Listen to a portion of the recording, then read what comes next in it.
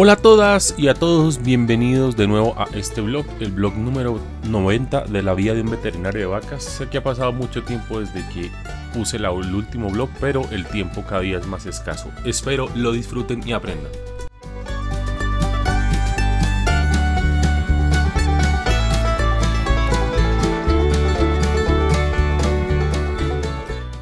Bueno, este es un caso de eh, una neumonía en una vaca adulta. Este caso me parece muy interesante porque les quiero mostrar ecográficamente cuánto se demora un pulmón en comenzar a mostrarnos a nosotros mejoría. Yo ya les he enseñado varias veces cómo se hace la ecografía torácica y aquí en este caso ven la consolidación pulmonar severa de la vaca, ¿cierto? En donde inclusive se alcanzan a ver algunos vasos sanguíneos y seguramente algunos bronquiolos y bronquios llenos de líquido se ve perfectamente, se ve así como una ramificación como si fueran las eh, ramas de un árbol.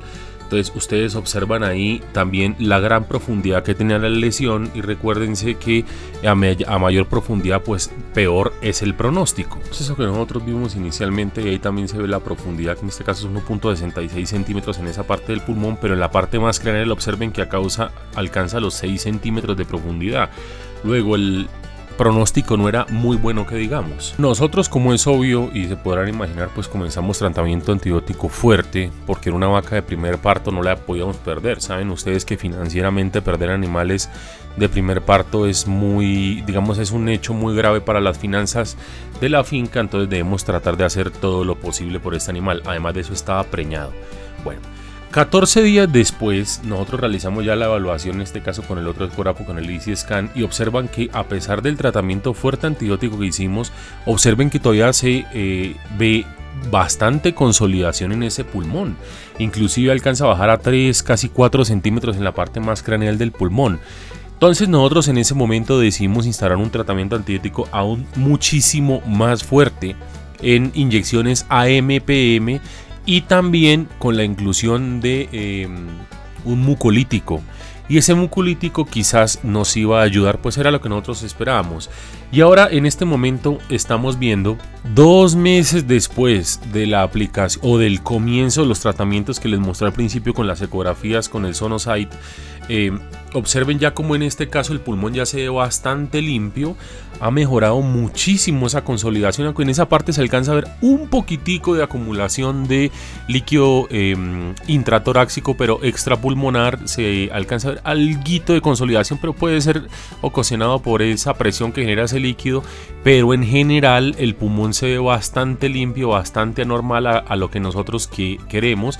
Y obviamente pues la vaca mejoró muchísimo en su aspecto, la vaca no abortó, lo cual fue eh, bastante mm, positivo y eh, no, pues nosotros estamos bastante contentos por la resolución de este caso. Entonces yo lo que les quería mostrar es que ustedes deben esperarse por lo menos dos meses después para poder las hacer las evaluaciones o si no, si van a hacer evaluaciones mucho más seguidas, entonces deben hacerlo haciendo mediciones pero no esperando mucho de ello. Bueno, este es un caso muy raro. Yo quizá lo lamentaré toda mi vida porque no es normal ver este, este, tipo de cosas, sobre todo porque fue una emergencia y nosotros andábamos trabajando obviamente en reproducción cuando nos llamaron para asistir a este caso y no teníamos la cámara obviamente a, mano.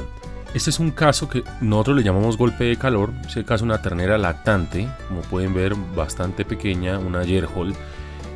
La ternera cuando llegamos estaba convulsionando, yo nunca había visto pues una convulsión en un bovino y mucho menos que sobreviviera cuando a mí lo que me llamó la atención fue que cuando nosotros la tocamos la ternera estaba hirviendo, hirviendo era hirviendo. Nosotros pues inmediatamente a mí se me vino a, la cabeza ese tipo de problemas que puede llegar a, causar eh, la sobreexposición al calor y en estos animales obviamente que no están acostumbrados a las altas temperaturas, en este caso ese día estaban haciendo 30.5 grados eh, comenzó a convulsionar. Nosotros lo que hicimos fue bajar la temperatura rápidamente con agua fría, se, lo, se la echamos por todo el cuerpo y era increíble la temperatura que tenía la ternera que obviamente no se la medimos por precisamente la emergencia que todo el agua se evaporaba, se evaporaba al 100%. Le comenzamos a echar agua en medio de eh, los miembros anteriores y los posteriores, obviamente en la cabeza, en las orejas, y con el tiempo la ternera se fue normalizando y es increíble ver cómo la ternera, hace poco fui a mirarla, está perfecta. Entonces son cosas que a nosotros nos deben hacer pensar es con estos cambios climáticos que estamos teniendo, tenemos que tener mucho cuidado en terneras, sobre todo eh, que sean bastante vulnerables a la temperatura, de razas lecheras vulnerables a la temperatura, pues quizás tenerlas bajo techo o protegerlas con árboles. Este es un caso bastante raro, pienso yo. Pues nosotros no es que andemos escaneando riñones todos los días, pero cada vez que hay una vaca enferma, pues tratamos de escanear la mayor cantidad de órganos posibles si es que no encontramos la razón certera de la enfermedad en específico. Y en este caso estamos observando un quiste renal que no es algo común que nosotros observemos, precisamente por lo que le digo, no andamos escaneando riñones. Esto quizás no puede tener mucho incidencia sobre la parte eh, renal de la vaca, pero si era, o sea, me gustó mucho poderles mostrar este caso para cuando se les presente. Este es un caso de una mastitis bastante severa y peraguda, inclusive llegó a ser tóxica. Nosotros la tratamos con antibióticos intravenosos. Inclusive alcanzaron a ver ahí cómo ese pezón estaba perdiendo integridad de la piel y observen el edema tan severo que tiene ese cuarto de la vaca, inclusive era bastante doloroso. Nosotros vamos a proceder a hacerle una ecografía a ese cuarto porque queríamos mirar cuál había sido la respuesta al tratamiento. Observen la leche que, entre comillas, leche estaba arrojando esa glándula mamaria y nosotros en este caso ya estamos viendo en la ecografía vemos esa gran presencia de material de eh, hiperecogénico que es compatible con pus, una inflamación muy muy severa en la parte bien interna de la glándula mamaria, porque ustedes observan ahí cuántos centímetros hay de profundidad, aproximadamente como unos 5, 6, 7 centímetros de profundidad desde, donde, desde la pared de la piel hasta el lugar de la lesión y ahí alcanzan a observar inclusive el edema en, el, en la piel, ¿cierto? Y en la parte superficial Em, hay una porción de eh, glándula mamaria que se observa normal, pero en la parte interna se ve la porción bastante afectada. Nosotros a esta vaca le hicimos unos tratamientos inclusive off-label.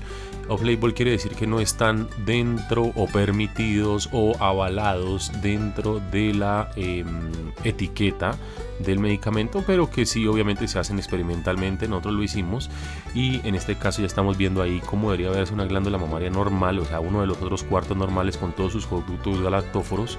Y en este caso obviamente nosotros lo que estamos haciendo era generando la comparación de imágenes para que la persona pudiera entender era lo que le estaba pasando a su vaca y observen ese cuarto bastante afectado pues eh, que nos llama a nosotros bastante la atención y que eh, nos dice que la enfermedad es un poco grave. En este caso la vaca ha mejorado montones.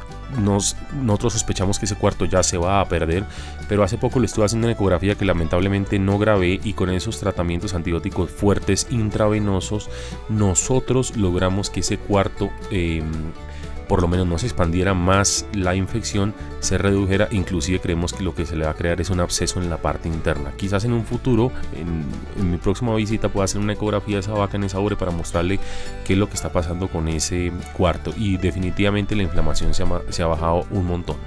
Bueno, en este caso estamos viendo una presentación no tan común del exoftalmo debido a la leucosis. Inicialmente nosotros pensamos que la vaca tenía una reacción de tipo alérgico eh, una anafilaxia porque ustedes pueden ver ahí ese tercer párpado bastante hematoso. Nosotros la tratamos para eso, pero con el tiempo la vaca se fue poniendo peor. Inclusive utilizamos corticoides, bueno, una serie de tratamientos bastante fuertes para disminuir el edema.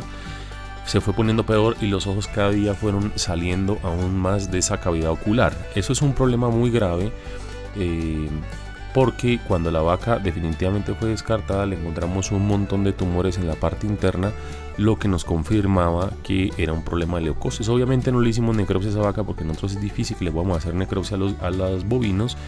Eh, porque se venden antes de eso, pero es una confirmación y les quería mostrar ese exoftalmo bastante severo. Obviamente, seguramente son una inflamación debido a la presencia de esas células tumorales allí que generaban esa exacerbación de ese tercer párpado.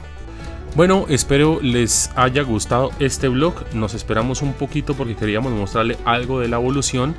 También les recuerdo que tenemos otras redes sociales como Instagram, que nos pueden encontrar como Dr. Camilo Cabra Veterinario, Dr. Camilo Cabra Veterinario, y también en Facebook como eh, Camilo Cabra. Entonces en esas redes sociales, pues nosotros tenemos una actualización mucho más eh, continua de casos y cosas que nos van presentando a diario.